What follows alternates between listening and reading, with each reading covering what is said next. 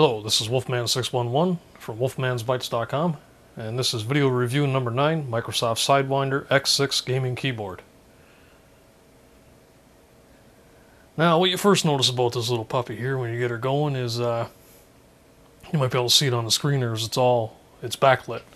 You got two different colors lighting here. You got like an amber type of color, and over here, basically the standard keys and the number pad keys here are red in terms of color when you uh, program the keys, the keys go yellow. Let you know that you're inside of uh, the programming mode as opposed to the standard keyboard operation that you'd use under Windows and stuff like that. At the very top, in terms of buttons, you got your uh, this one here. This this is the configuration button. This calls up the uh, Microsoft IntelliPoint software, which is what pretty much you got to use to to get the full uh, functions out of this keyboard. Okay, this button here is the auto run feature, which there's a little light there, which I'm not plugged in right now, so it's not going to, uh, keyboard's not going to function as it's supposed to. But when you have the IntelliPoint software installed, when you hit that, that red little LED light there will come on beside it. The next button to that, this one here, is the actual uh, macro record, which if you just want to do a quick dirty little macro, you can do that there. Hit a few keys, hit the button, away you go. The next button changes the actual game profiles. If you want to program all the keys, say for a flight sim or something like that, that button there, this one here will actually go through the different profiles you have set up for the keyboard. You got three LED lights here that light up depending on what profile you're in. The buttons beside that are the actual media keys, which you use to do the playing and pausing, you know, previous track, next track, along with uh, muting the actual audio on your computer. Beside that, this one here, if you can see, you turn this down, keyboard lighting goes right off. Now I can't get access to the overhead light here because I got a bunch of camera gear in the way, but you probably might be able to get a bit of this. Turn it back up. It goes up. Overall, it looks pretty good. It's a lot better than the uh, the Microsoft uh, keyboard I reviewed previously, the gaming one, the Reclusa, I think it was, the one made by Razer. That had pretty decent lighting, but I think this lighting here is a lot better in terms of being evenly uh, distributed across the keyboard. You'll notice that these underneath here are yellow these keys here. And I should mention these keys too, by the way. They're actually 12 independent macro keys as well. So there's a little shift button here you can see that I'm pushing right there. And when you hit that, that'll give you 12 functions here instead of just six. So them six buttons can be 12 different macros, depending on how you got the shift key uh, in use. Overall, pretty good, uh, pretty good keyboard. I've been banging on it now for well over a year, and it's not uh, giving me any issues at all. The next dial you see up here is the uh, dial for turning your computer audio up and down, which also, the one thing about these dials, they work pretty nice. Some keyboards you actually, they're loose and just feel cheap. These ones here, there's not really any really play in them, and they work the way they're supposed to. Over here on the number pad key, you got the uh, the calculator button. You hit that, and that'll bring up your Windows calculator. What's interesting about this keyboard, and actually one of its probably biggest features it has, is the fact that if you, uh, here, let me zoom this out a bit here. The one interesting thing about this keyboard is that you can turn around and actually, the number pad key on it, number pad keys, that's one thing I don't like there too. You can see it here. This reflection, I don't know what they, what kind of material they use to coat this area here, but it's real bad in terms of the way it reflects light. It doesn't look very good.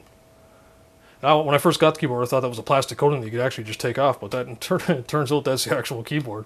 No coating there to take off. But one of the nice things about this keyboard is you can turn around and do this here. You can pull the number pad right off the computer. That's pretty interesting the way that works. Now the whole idea for that is that you might want a little keyboard that doesn't take up you know a ton of space and therefore there you go. It doesn't have any keyboard or a number pad key. The neat thing about it though is that say for whatever reason you like playing the way everybody else does, you can turn around and take this this number pad key here and now stick it on the other side of the computer. And the real neat thing is, it's all held in by magnets, so that's not going to go, you know, within reason. I mean, if you really start shaking, it's going to fly off, but for the most part, you can turn, you know, keyboard upside down, whatever you want, and it's not going to move. Now, what's keeping that number pad on there, take that off, might be able to see it here. These two buttons right here, or two buttons, I mean two magnets, one there and one over there, really, really strong. I took a piece of steel the other day just to see, and they, they really do, uh, things snap to them when you get anything steel near it. So the number pad key, when you get that on there, or number pad keys, I should say. I know I keep saying that wrong. Probably the heat in here. Um, just goes on like that. You notice a second later, it turns around and activates. It all lights up. Put it back to the way it was here.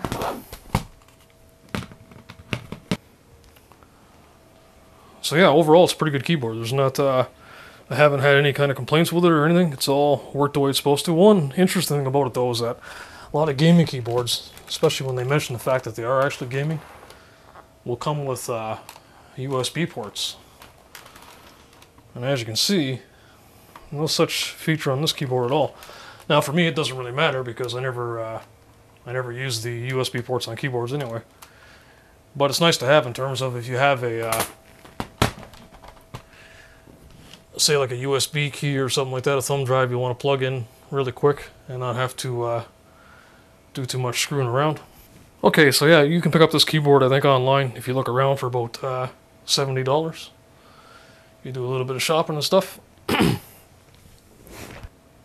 so this is WolfManz611 from wolfmanzbytes.com and this has been the uh, Microsoft Sidewinder X6 gaming keyboard video review number 9. Don't forget if you want to get a detailed uh, text review version of this video review, it's on the website as well. You can find it there. There's more detail on the keyboard in the text review than what you're seeing here in the video.